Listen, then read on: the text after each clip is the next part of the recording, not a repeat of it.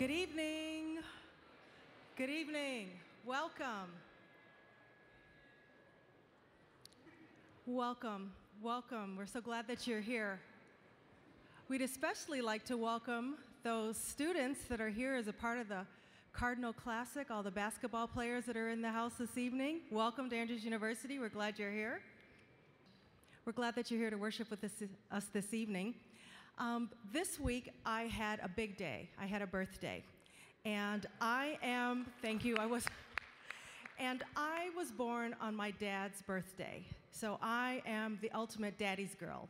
Birthdays are supposed to be a very special day, I think, for everyone, but especially for me because I'm special. And yeah, and you're special too, really, you are. And on my birthday, the first thing that happened was my daddy called me to wish me happy birthday. And he gave me a special gift of his love.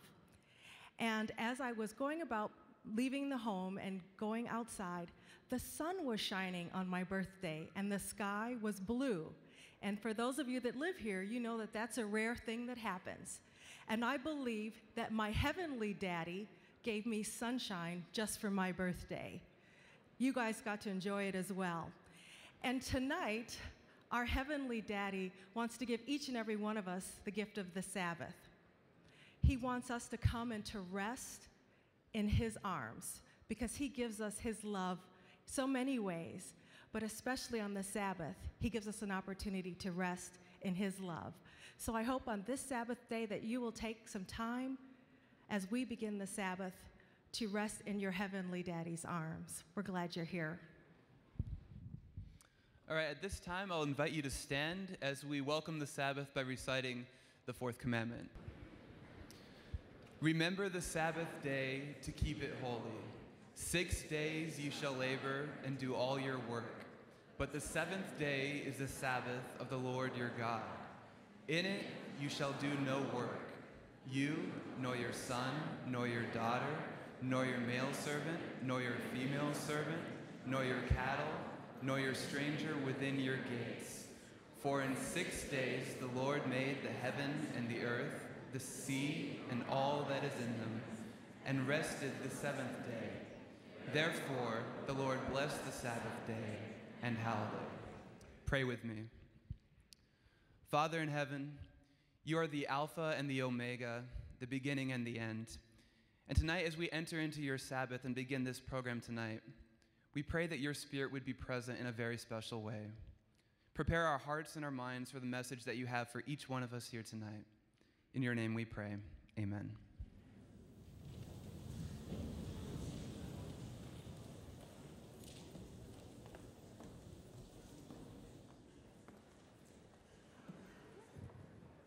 Happy Sabbath, Vespers. Happy Sabbath, Vespers. Much better, much better. Um, welcome to all of our high school students. Um, I'm glad that you're here to worship with us. Um, we're going to um, do some songs. Is that okay? And we're going to praise the Lord through song. Amen? Okay. Our first song is going to be Our God is Greater. Our God is stronger. Amen? No matter what we go through, no matter what trials and tribulation, He's always there for us.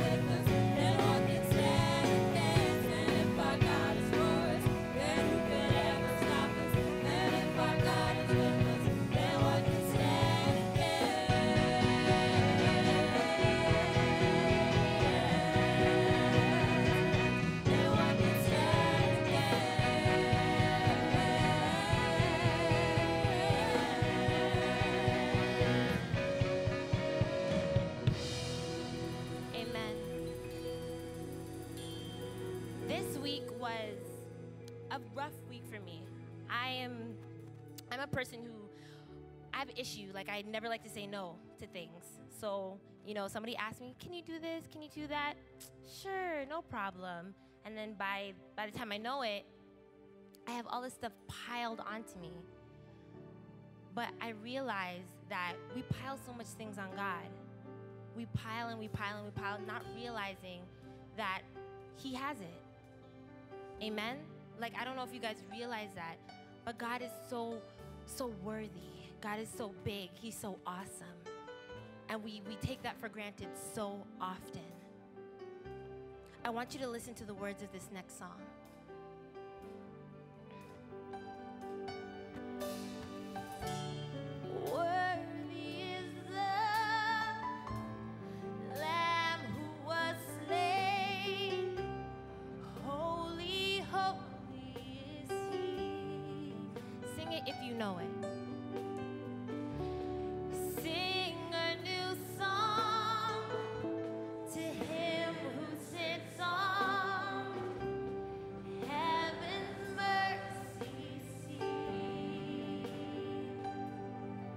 Olivia Zalab.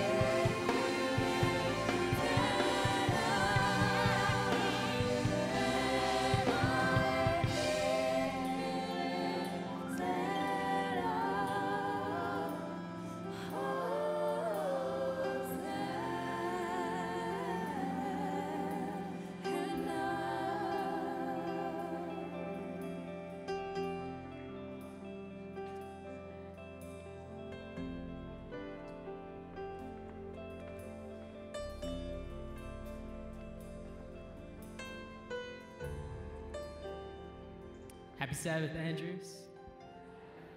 Happy Sabbath, Cardinal Classic. We're so happy to have all of you here tonight and to be able to worship together with one another. Every week we come together and we celebrate the Sabbath. And at the center of the Sabbath is the story of creation. And the story of creation is that moment when, when God came down to earth and out of the dust, he chose to create us and to claim us as his. In that moment, he said, Evan, you are mine. Sandra, you are mine. But you guys know how the story goes.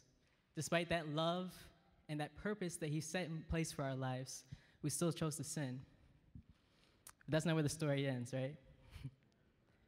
Jesus came and he died and he rose again and he became our Redeemer. Amen? So every week we come together and we have the opportunities to celebrate this week of creation. And so today for prayer time, we just want to invite each and every one of you, uh, whoever has something on their hearts, it might be a, a prayer request, it might be a praise from this week, um, to just come down and we're going to do a seven word prayer. You see, we have mics here to this side and to this side. So we're going to put a, a countdown on the screen here. And if the Lord impresses you to come forward and say a seven word prayer, we invite you to do so at this time.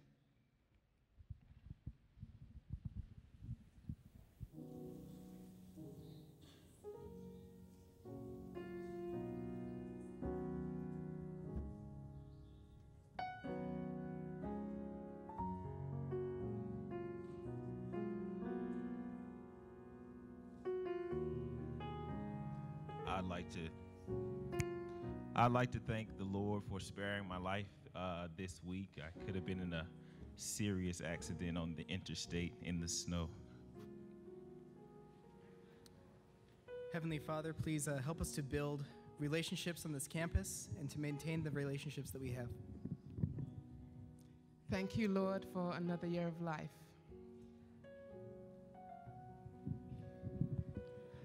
Lord, I thank you for being sovereign.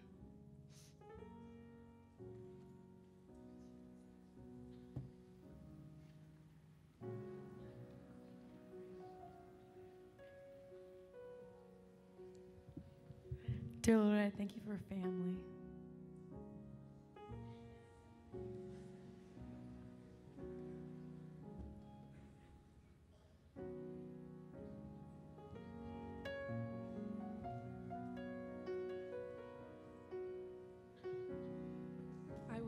Adventist and now I am.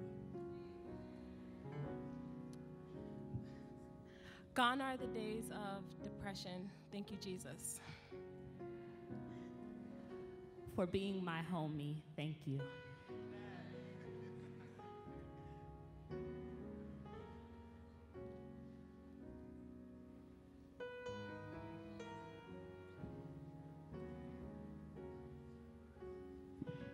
Спасибо за друзей, которые сегодня с нами находятся здесь.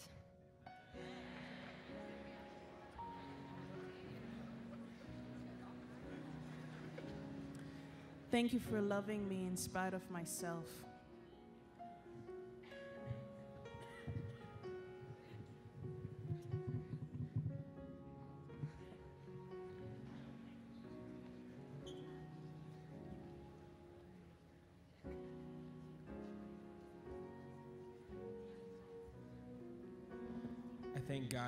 Good friends who are there when you need them most.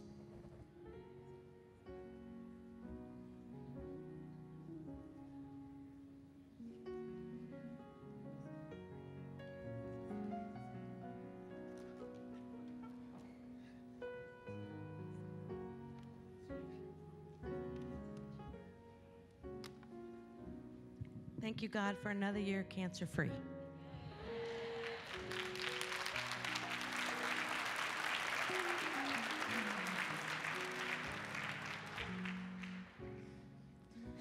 Thank you, Jesus, for understanding my weaknesses.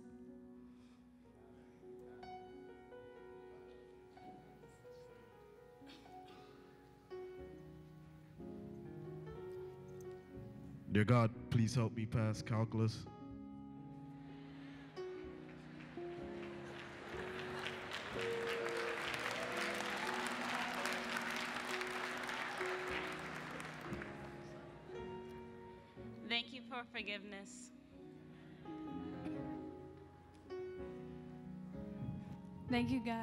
Mercy and your love.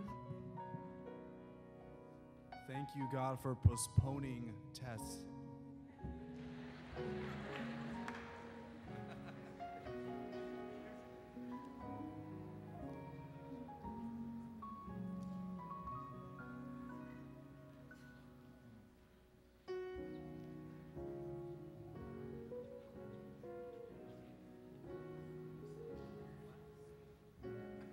Thank you, Father, for Jesus.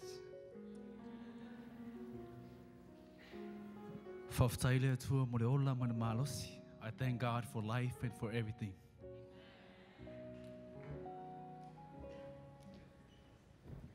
Thank you, God, for hearing every prayer, every desire, every wish that was on my heart and answering it in your time. Um, thank you, God, for the chance to play basketball.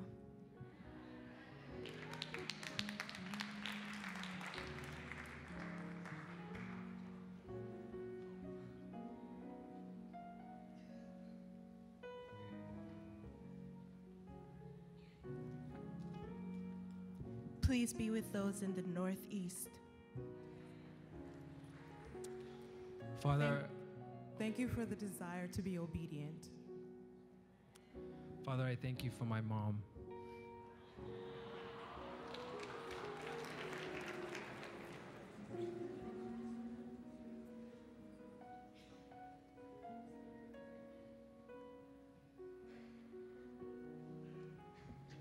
Thank you for parents and teachers.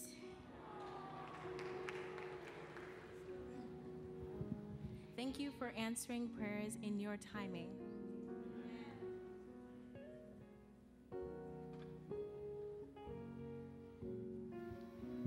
I thank Jesus for giving me a wonderful man.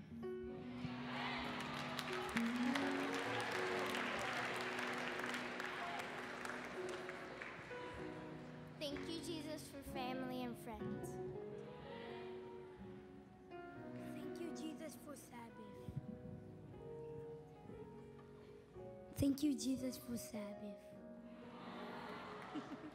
Thank you, Jesus, for giving me great teammates. Thank you, Lord, for your amazing love.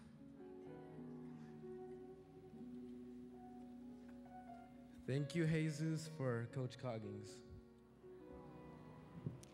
Thank you, God, that I live in a time where I can be with the person I love, even if his skin isn't the same color as mine.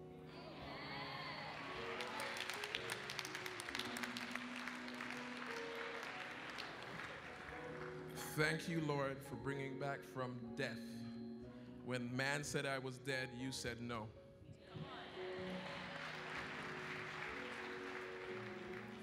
Dear Jesus, thank you for keeping me in good health. Thank you, God, for great refs.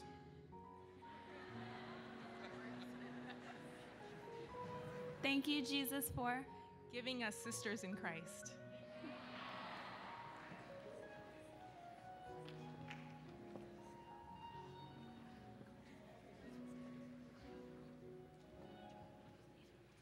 Thank you for seeking me. Thank you for keeping me. I need you now, but you first needed me.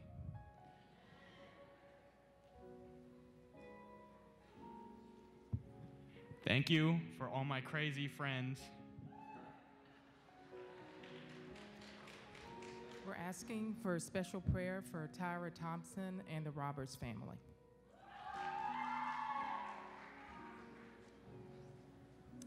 Thank you, Jesus, for four years of financial clearance.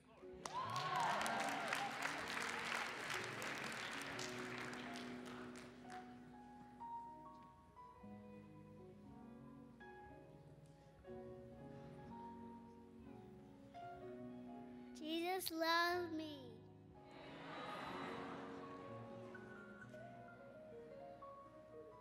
Sunday, Monday, Tuesday, Wednesday, Thursday, Friday.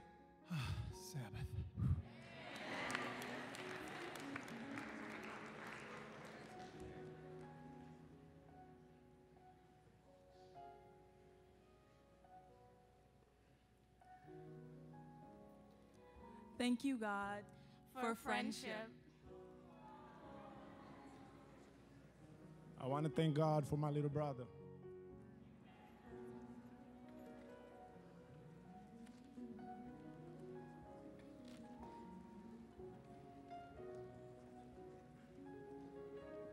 Thank you, God, for that graduation. Woo!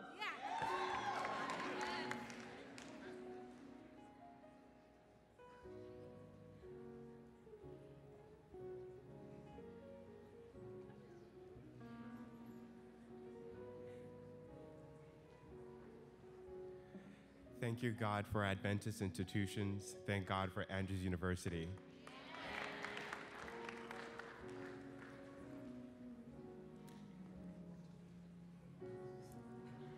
Merci Seigneur pour la vie, la joie et la bonté. Thank you Jesus for joy, peace and love. Thank you, God, for being my strength and my sustainer. Thank you, God, for safety. Thank you, Lord, in advance for repairing my family. Thank you for being strong when I'm weak. Thank you for great coaches. Would you bow your heads with me? Lord, prepare our hearts to know you. Amen.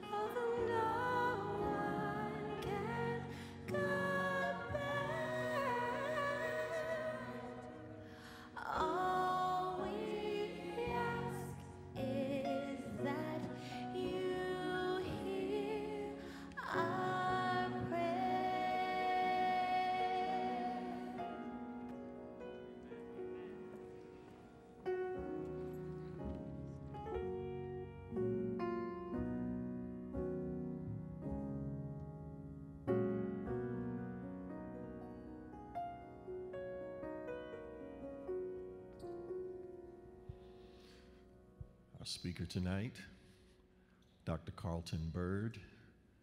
He is the senior pastor of the Oakwood University Church. He's also speaker, director of the Breath of Life telecast, podcast, every kind of cast. Pastor Byrd is a graduate of Oakwood University and a double graduate from Andrews University. He received his Master's of Divinity and Doctorate of Ministries degree from Andrews and his bachelor's degree from Oakwood University. He is uh, married. I just told him while we were sitting there that I met his wife many years before he ever knew her. Uh,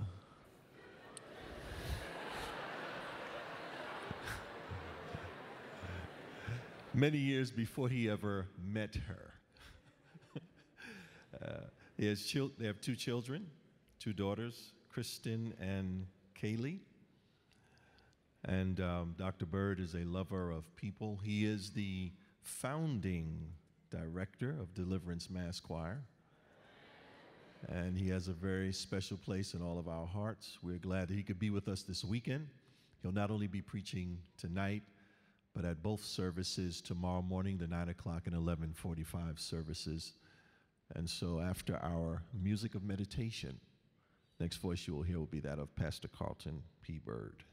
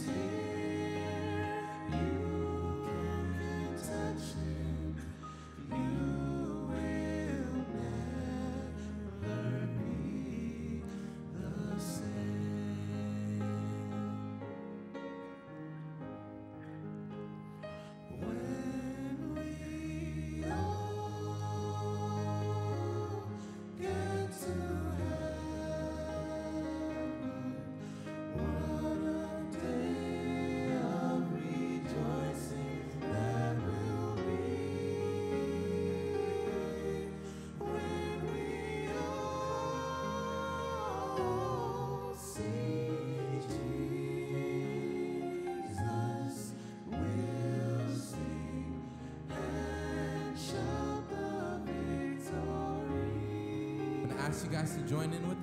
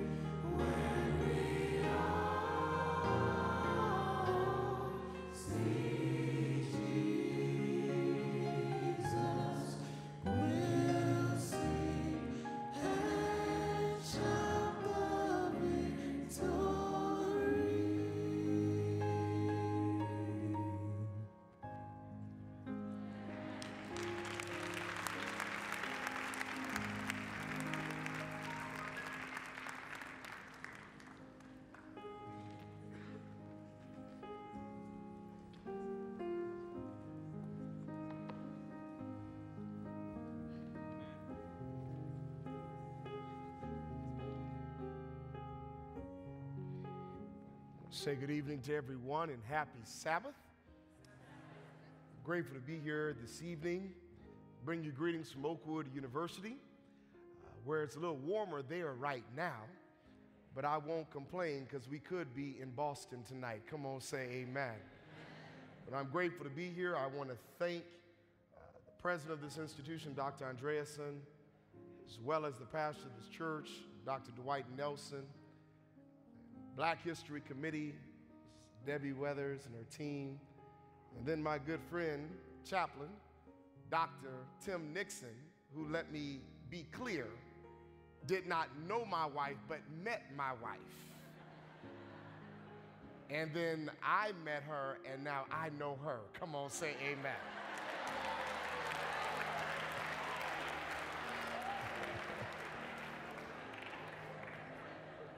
It's always a joy to come to Andrews, to Marion, to see familiar faces and get to know different persons. And I praise God for this opportunity. I'll preach tonight and tomorrow twice, and I'm confident that God, through the power of His Holy Spirit, I'm praying, will touch an individual's life. I must say, I was invigorated uh, with the worship.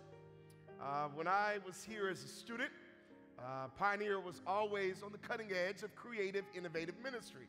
And the second service was always one that was, you can keep playing, don't stop until I tell you. It, it was always one that was student friendly, and I praise God for that. And I've come tonight, and things are just going higher and higher, and I praise God for that with the instruments. I saw a set of drums in the church. I said, All right, praise God. and the horn section, and the praise and worship. Praise the Lord. Hallelujah. And so I'm grateful to be here tonight.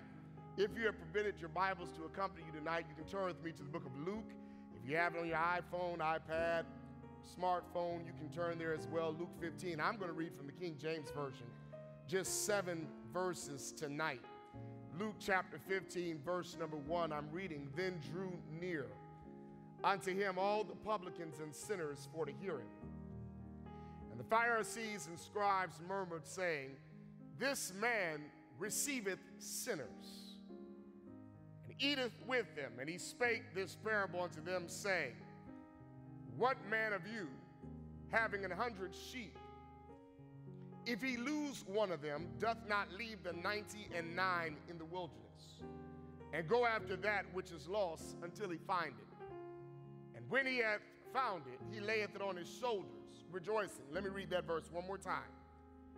And when he hath found it, he layeth it on his shoulders, rejoicing. And when he cometh home, he calleth together his friends and neighbors, saying unto them, Rejoice with me, for I have found my sheep which was lost. And I say unto you, that likewise joy shall be in heaven over one sinner that repenteth more than over 99 just persons which need no repentance. 99 just won't do. God bless us now. Make your word come alive. And through the power of your Holy Ghost, may your anointing make the difference. Speak through this, your humble servant, tonight. Forgive us of our sins. In the name of Jesus, we pray. Let everyone say, Amen. Amen. In the text, Jesus has just finished teaching a powerful lesson in Luke chapter 14 on what true discipleship is. Because just because you're a member in God's church doesn't necessarily mean you're a true disciple of Christ. Church membership does not always mean true discipleship. Because there are a whole lot of people who have their names on the church roll, but they really don't know what it means to follow Jesus. Do I have a witness in this place? Jesus stresses this teaching in Luke chapter 14 by saying that if you're a disciple, you're salt. And as salt, you have a purpose in the world. As Christians, then, we're not here to follow the world, but we're supposed to be change agents in the world. We're in this world, but not of this world. And the only reason why the world has not fully collapsed is because you're salt. Salt is not only a pervasive seasoning, but salt is also an important method of food preservation. Salt retards the decaying process. Back in the day when there were no refrigerators, no ice, ice boxes, in order for meat to be preserved, salt was placed on the meat to keep the meat fresh and healthy for another time. The meat did not decay. The meat did not spoil because the salt was purifying it, penetrating it, and preserving it. What Jesus is saying in the text is the only reason why the world doesn't fully stink is because you're in it. To purify it, to penetrate it, to preserve it. Jesus said in Luke 14, the backdrop for tonight, you are the salt of the earth. And he said, if you can't get happy about that, it might be that you aren't real salts because they do have a thing called salt substitutes. Look like salt, taste like salt, but it's not salt.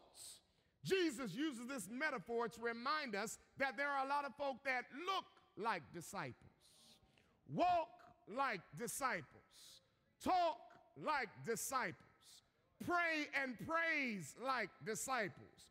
But they aren't real disciples because the true test of a disciple is if you're salty, then folk around you ought to get thirsty. They ought to thirst after his righteousness thirst after his truth, thirst after his compassion, thirst after his salvation, thirst after his power. Jesus said, You are the salt of the earth. And then he begins chapter 15 with what many refer to as God's lost and found department. In the chapter, Jesus shares that his primary mission is to seek and to save that which was lost. In the chapter, then, we have searching, saving, and shouting. For after the lost is found, there is rejoicing. In the chapter, Jesus goes on to share four illustrations in three parables to deal with God's desire to save the lost. Verses 3 through 7 identify the first parable and record the illustration of the lost sheep. Everybody say, lost sheep. Verses 8 through 10 identify the second parable and record the illustration of the lost coin. Everybody say, lost coin.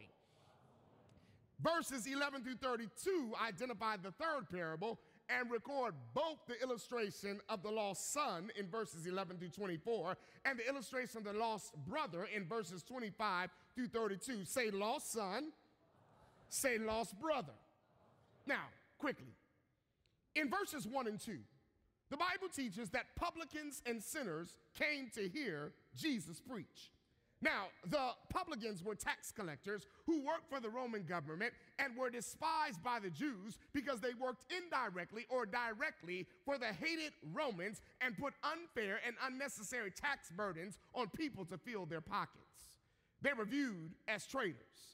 Sinners, on the other hand, were Jews who had fallen away from the life that God commanded, living in unrepentant sin.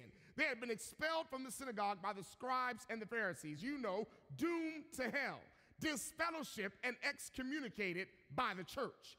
Picture that sinners telling other sinners that they are no longer welcome in God's church, that they are no longer able to receive forgiveness from sin. Prostitutes would have been a part of this group. Junkards would have been a part of this group. Thieves would have been a part of this group. But sinners also included anyone who violated their understanding of the commandments. For after all, they called Jesus a sinner because he healed somebody on the Sabbath day. And it was these two groups greedy tax collectors and poor sinners that nobody else cared about that Jesus reached out to. Jesus preached, Jesus taught, and these people came to hear him. And the religious authorities murmured and complained and began to criticize Jesus for receiving sinners. The very people that church folks should have been reaching out to were the very people that were trying they were trying to keep out. And that's just like in my experience I've learned some church folk. We keep people out who need Jesus the most. But the Pharisees don't get close to these people. People who don't look like them. People who don't act like them. People who don't dress like them and smell like them. But then Jesus eats with them, accepts them, laughs with them, has fellowship with them, and God forbid, even prays with them. Jesus spending time with these sinners makes the Pharisees mad. They don't like it that Jesus gives attention to those kinds of people who go give no attention to their way of life. They want Jesus to be focused on them and not sinners. They want Jesus to reward them for all of their ways, not sinners. They had been faithful all of their lives. They had gone to church every Sabbath. They returned a tithe every Sabbath. They returned an offering every Sabbath. They had worked hard at the church every week. They were the good guys, not the bad guys. They were the ones who had grown up in the church. They were the ones who didn't smoke, who didn't drink, who didn't have premarital relations in ways they shouldn't have. But now Jesus is ignoring them and hanging out with the last, the least, the lost, the unlucky, and the left out. How dare Jesus show more interest in these people than he shows in me? How dare Jesus spend more time with these people than he spends with me. To eat with sinners and tax collectors is to put oneself down to their level. To eat with these tax collectors and sinners was to contaminate oneself and make oneself unfit for temple worship. But then let's not be too hard tonight on the Pharisees, because there's a lot of Pharisee in us. What would we say if we saw Jesus eating dinner with a drug dealer a car thief, a prostitute, somebody with AIDS, or a homeless man eating eggplant parmesan in Olive Garden. But then, Jesus can do what he wants, whenever he wants, as long as it does not conflict with our clean, comfortable, conservative, cool culture. It's okay for Jesus to spend time with people like that as long as we're not around. As long as they stay on their side of town without wandering to our side of town. But Jesus, thank you, Lord, doesn't just care for good people. Jesus cares for all people. And he's willing to put energy and effort into reaching out to those who many good people want nothing to do with. Jesus has a habit of using people other folk don't like. He does this so you can't take credit for who they are once they become new creatures in Jesus Christ. So now, the Pharisees and the scribes, they're grumbling and saying to one another, This man welcomes sinners and eats with them. The Pharisees had strict regulations about who they were to deal with and to keep away from sinners. They were not to entrust money and have business dealings with sinners. They were not to trust them with a secret. They were not to give their daughters away to them in marriage. They were not to invite them to be guests in their home. But Jesus eats and dines and has fellowship with them. Now, notice the Pharisees don't openly attack Jesus. They talk behind his back. Interestingly enough, they would do this because in other scenarios, like Jesus healing on the Sabbath, if they felt Jesus was directly disobeying one of their traditions, they would openly try to call him out on it. But when he was just doing things they didn't like, rather than speak directly to them, they grumbled among themselves behind his back. Let me be clear tonight people like that are dangerous. Say what you want, but one of the toughest things to deal with in life are the people that smile in your face but are constantly stabbing you in the back. It's not always the lost folk on the outside that you have to worry about, but it's the pretentious, phony, fake folk on the inside that you got to be careful with. I've learned in my life, you will never hear a drunk person talk about another drunk person. Why? Their attitude is, I'm drunk, he's drunk, so we're all drunk. Are you hearing what I'm saying? Verse 1. The Bible says, Then drew near unto him all the publicans and seraphs and sinners to hear him.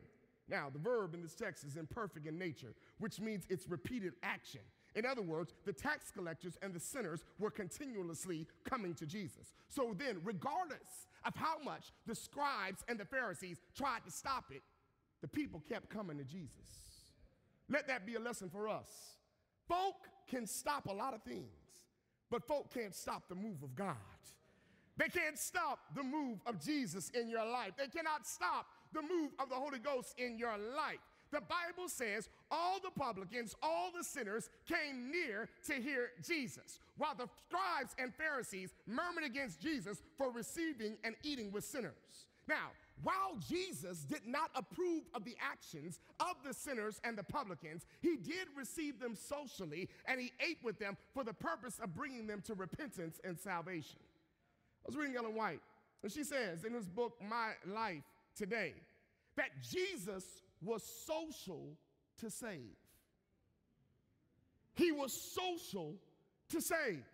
She says in page 186 of this book, Jesus rebuked intemperance, self indulgence, and folly, yet he was social in his nature. He accepted invitations to dine with the learned and noble, as well as the poor and afflicted. She says, social power, sanctified by the Spirit of Christ, must be improved in bringing souls to the Savior.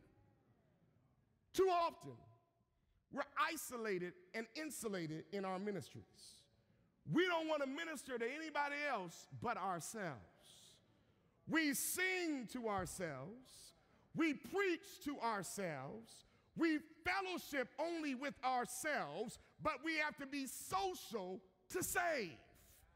Jesus was social to save, but the scribes and the Pharisees thought they were too righteous to associate with sinners, too bougie to hang with the broke. But let me be clear don't you ever think that you're better than somebody else. I believe I've got a witness in this place. Somebody knows that college is a temporary state of poverty. Are you hearing what I'm saying? Don't you ever think that you're more righteous than somebody else.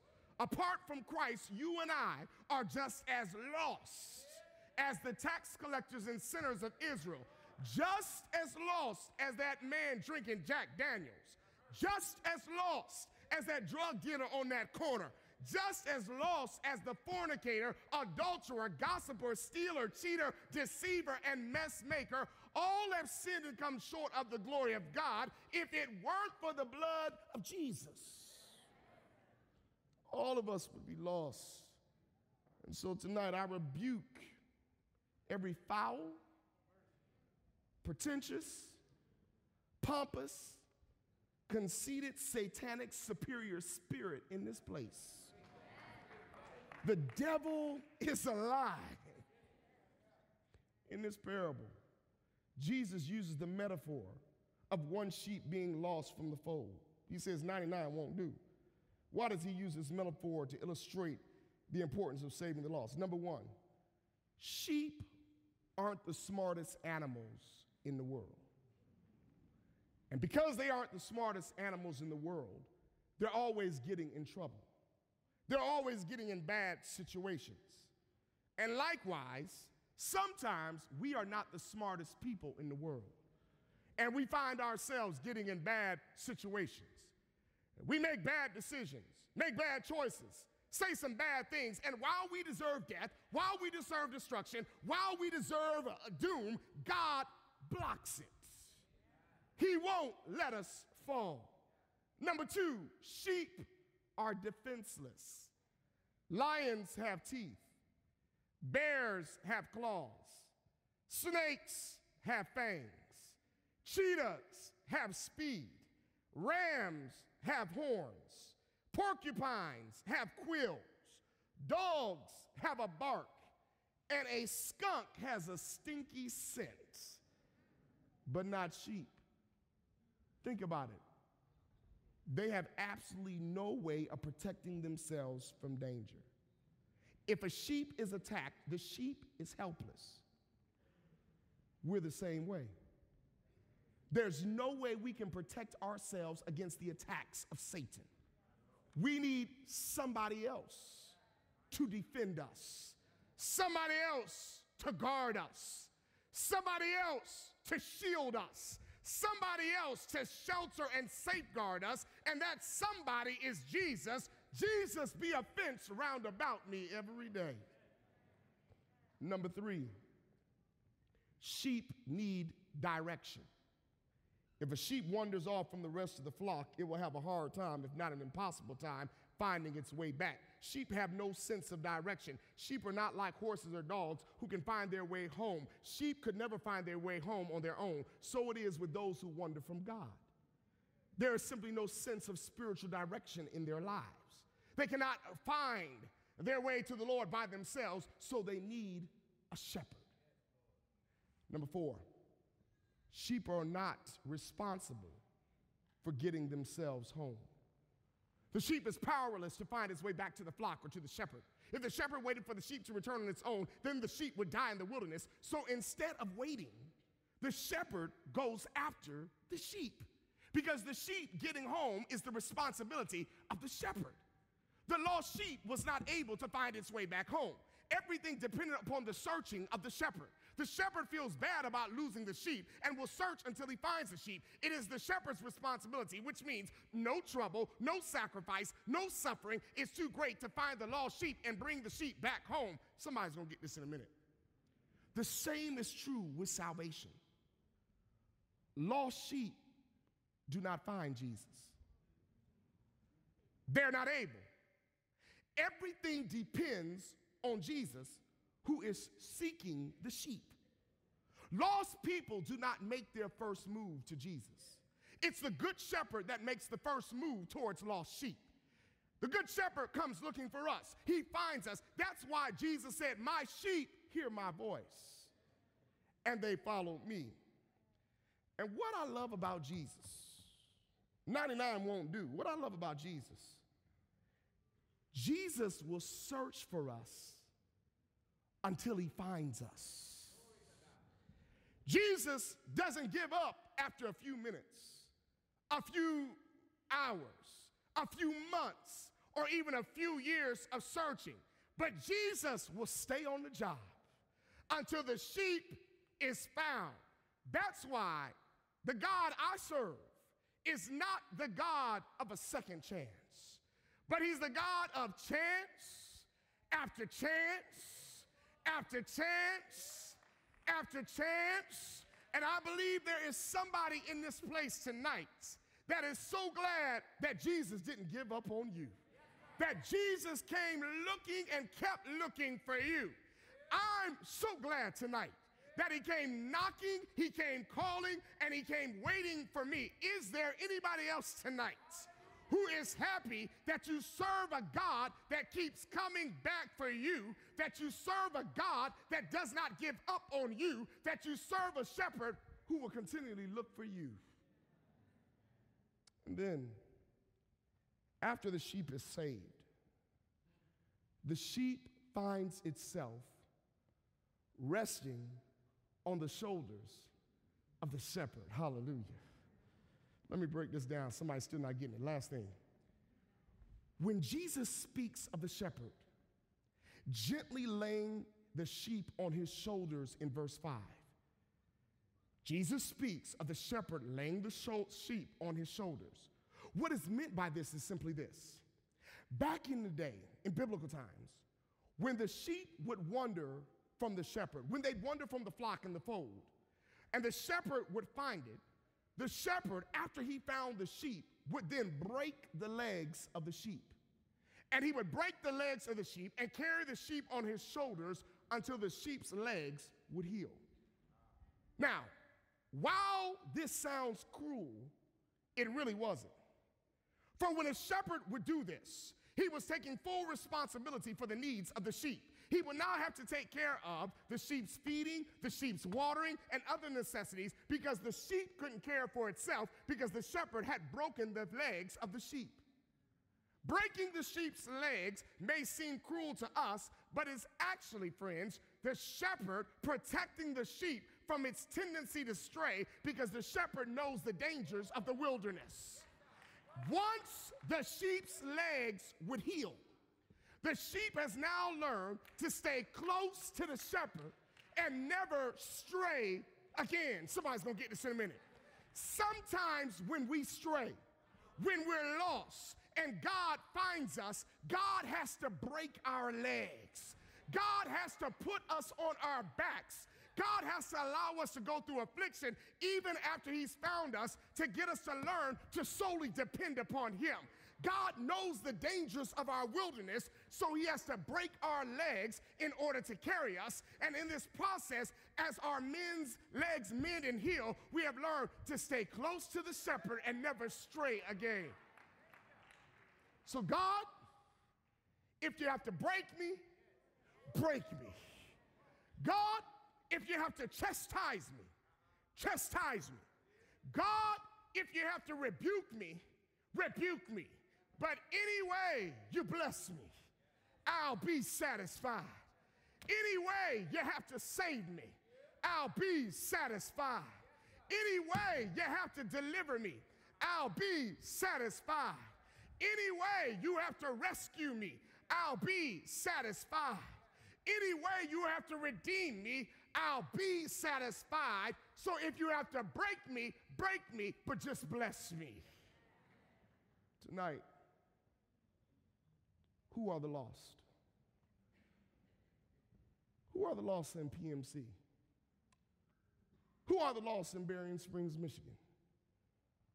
The drug addict? The alcoholic? The fornicator? The adulterer? The perverse? The thief? The mentally deranged? Who are the lost? The schizophrenic? The perverse? The psycho, the compulsive fanatic, the crazy, people who've had some mental breakdown. Who are the lost? People who have lost their way because of a bad decision. People who have lost their way because of a strained relationship. Who are the lost? In God's eyes, all of us are lost. Isaiah 53 6 says, All like sheep have gone astray. All of us are lost. All of us have sinned and come short of the glory of God. But let me give you some good news tonight. Let me tell you something about the plan of redemption. The plan of redemption was in place before the foundation of the world, which means before you were even thought of, the Good Shepherd had a plan. The Good Shepherd had a plan, and God had a plan to save the lost. Before there was ever a beginning, there was a good shepherd. A good shepherd that came to live for us, a good shepherd that came to die for us, a good shepherd that came to seek and to save that which was lost. In the beginning, there was a good shepherd. John 1 1 says, In the beginning was the Word, and the Word was with God, and the Word was God. The Word, Jesus, is from the beginning. He is the beginner of the beginning. He is the beginner in whom the beginning began. He is the beginning before the beginning was begun because he is the beginning who did not begin to be. He did not start because he has nowhere to come from. He does not stop because he has no boundary line. He is older than future, older than time, yet younger than future because he is what he was, he was what he is, and what he was and is, he will always be. Jesus was always here. always has been here, always will be here, always was, always is. For before Abraham was, he said, I am. What do we have here tonight? The Good Shepherd, Jesus, was born 2,000 years after Abraham, yet he said he was before Abraham. Jesus, who was David's son, was also David's Lord. Jesus, who was Abraham's son, was also Abraham's Savior. Jesus, who created flesh, became flesh when God reversed the beginning. And he took a motherless woman from the body of a man in creation, but then turned around and took a fatherless man from the body of a woman in redemption. Jesus, the God man, two natures in one personality. He protected the interests of heaven with his divinity, but looked out for the interests of earth with his humanity. In his divinity, he's God's way to man. In his humanity, he's man's way back on up to God. Two natures harmonized, but never completely blended. As man, he got tired. But as God, he said, Come unto me, all ye that labor and are heavy laden, and I will give you rest. As man, he got hungry. But as God, he took two fish and five loaves of bread and fed 5,000 men, women, and children. As man, he got thirsty. But as God, he said, Drink of fountains of living waters that shall never run dry. As man, he prayed. But as God, he answered prayer. As man, he wanted companionship. But as God, he had to tread the winepress alone. As man, he wept at Lazarus' grave. But as God, he resurrected Lazarus from the grave. Good shepherd. Great men have come and gone, but he lives on. Herod could not kill him. Governments could not silence him. Money could not buy him. Satan could not seduce him. Hell could not handle him. Death could not destroy him. The grave could not hold him because he's the good shepherd. And so tonight, amazing grace, how sweet the sound that saved a wretch like me. I once was lost, but now I'm found. Was blind, but now I see. And I'm so glad that the Good Shepherd came looking for me. I'm so glad that Jesus came and found me. I'm so glad that Jesus came and rescued me. So excuse me if I get loud sometimes. Excuse me if I wave my hands sometimes. Excuse me if I clap my hands sometimes. Excuse me if I stomp my feet sometimes. But you don't know, like I know, what he's done for me because I know I'm in a collegial environment. But before I went to Oakwood, before I went to Andrews, I went to Jesus. And the Good Shepherd gave me a joy that y'all didn't give. And a joy that you can't take away. Somebody needs to know I'm a miracle right now. Somebody else, I listened to the prayers tonight. You're a miracle right now. You could be anywhere else, strung out somewhere, in a mental asylum somewhere, suicidal somewhere, crazy somewhere, but you're here tonight and you've got a right to praise the Good Shepherd. And so, the Lord is my light, my salvation. Whom shall I fear? The Lord is the strength of my life. Of whom shall I be afraid? When the wicked, even my enemies and my foes, they came to eat up of me, they stumbled and fail. Though war should rise up against me, in this will I be confident. One thing that I have desired of the Lord, and that will I seek after, that I may dwell in the house of the Lord all the days of my life. So I will bless the Lord at all times and his praise shall continually be in my mouth. My heart shall boast in the Lord. The humble shall hear thereof and be glad. Oh, magnify the Lord with me. And let us exalt his name together. He's the good shepherd. He knows you can't protect yourself. He knows you're defenseless. He knows you need direction. And he knows it's his responsibility to come looking for you. He broke me, but he broke me to bless me so that I will know never stray from him again. Tonight, who has he broken? Who has he broken in order that he might bless? Who's out there tonight? You haven't made smart choices. Who's out there tonight that's defenseless? Who's out there tonight that needs direction? Who's out there tonight that needs the Good Shepherd, Jesus, to come looking for you? Here I am. Lord, save me. Father in heaven, God, we praise you. As your holy Sabbath hours begin, for this next 24 hour period, oh God, may we be in tune with you. God, we're sheep, and all of us are lost. And you're not trying to just find 99, but God, you're trying to find all 100 of us.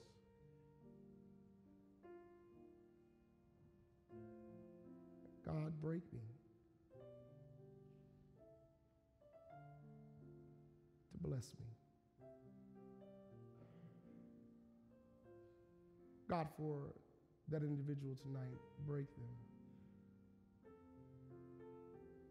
to bless them.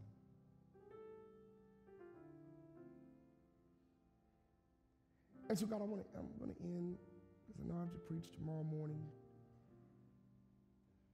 But the reality is, Lord, for someone who's here tonight, they may never have this opportunity again.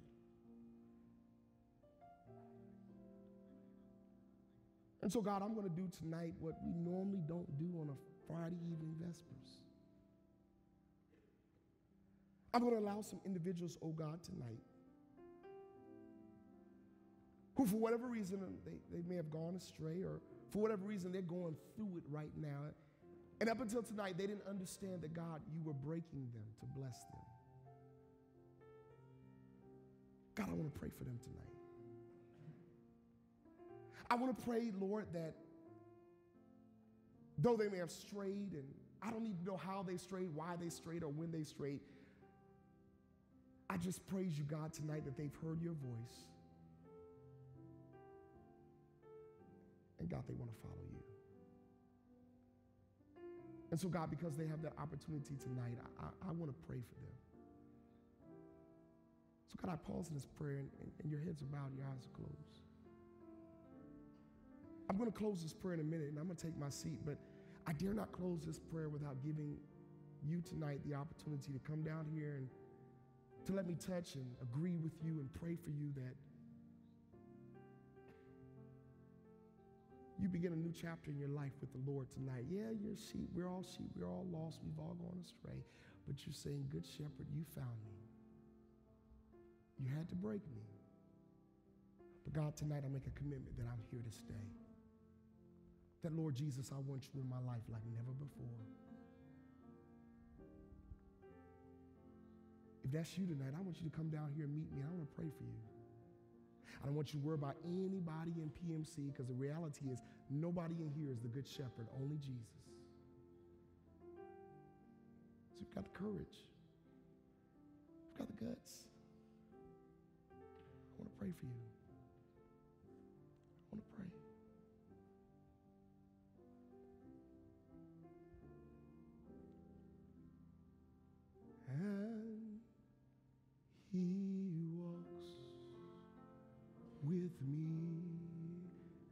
he talks with me and he tells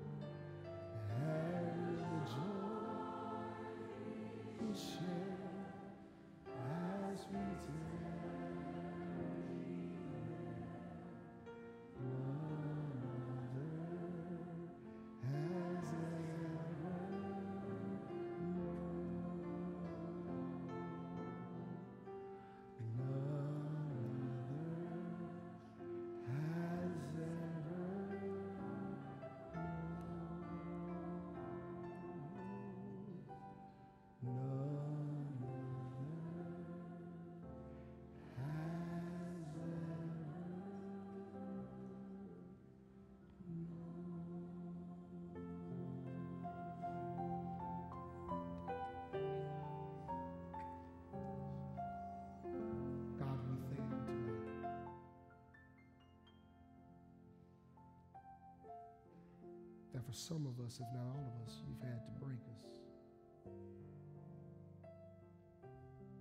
But now we're confident, now we're sure it wasn't that you were trying to hurt us, but God, you're trying to save us. Now, tonight, God, the devil had plans for somebody in this place. But in the name of Jesus, we rebuke the devil Satan has no power over us and over this worship experience and over this gathering tonight. We wondered, some of us, but now tonight we've come recognizing we are sheep and you are shepherd. So, God, tonight I pray for everyone who's come down this aisle. And by their coming, they have said in their hearts, and God, you're searching their hearts and you're reading their hearts, and they're saying, oh God, they are not the smartest, they are defenseless. They don't have the best sense of direction for their lives. But oh God, they're willing for you, the Good Shepherd, to come and get them, to save them. Whatever strongholds, whatever addictions, whatever ungodly soul ties they have in their lives right now, break them in the name of Jesus. And God, when we go back to our seats, when we go back to our dorms, our apartments, our homes, God, we go back in victory. We go back in victory. Satan is defeated. We go back in victory. We don't wait till the battle is over. God, we shout now recognizing we don't fight for victory, but we fight from victory because you already defeated the devil at the cross. Thank you. As these individuals touch and agree up front, God, do what they need in their lives.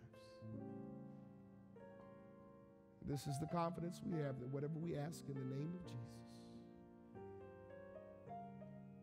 we know we have. Give us a good night's rest tonight. Wakes up in the morning for a great Sabbath in thee. Even imbue me with your power of your Holy Ghost. So, Lord, when I stand here tomorrow, that it will not be me, but thee working and living through me.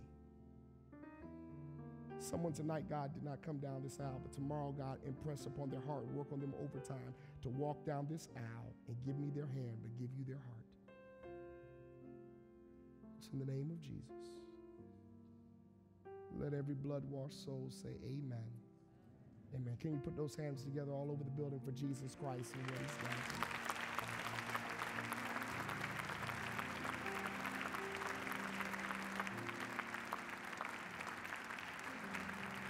Go walk in the newness of life. Go walk in victory, knowing that the Good Shepherd, He has you, and He's going to be with you. You may return to your seats.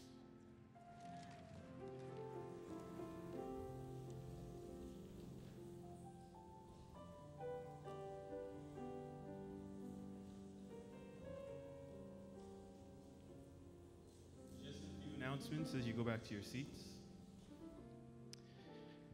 These Connect cards, they're right in front of you. We encourage you to fill them out at the back and hand them to the ushers at the front here who will be able to get them from you. Also, there's no impact tonight, but next week we'll, we will be meeting in Berman at 9 o'clock p.m. Tomorrow is the Black History Sabbath, and New Life will be joining PMC tomorrow here at 11:30 a.m. And last but not least, it's time for your Sabbath hug, so I encourage you to stand up, give a hug to the person beside you, right, left, behind you, in front of you. May God richly bless you. God bless and happy Sabbath.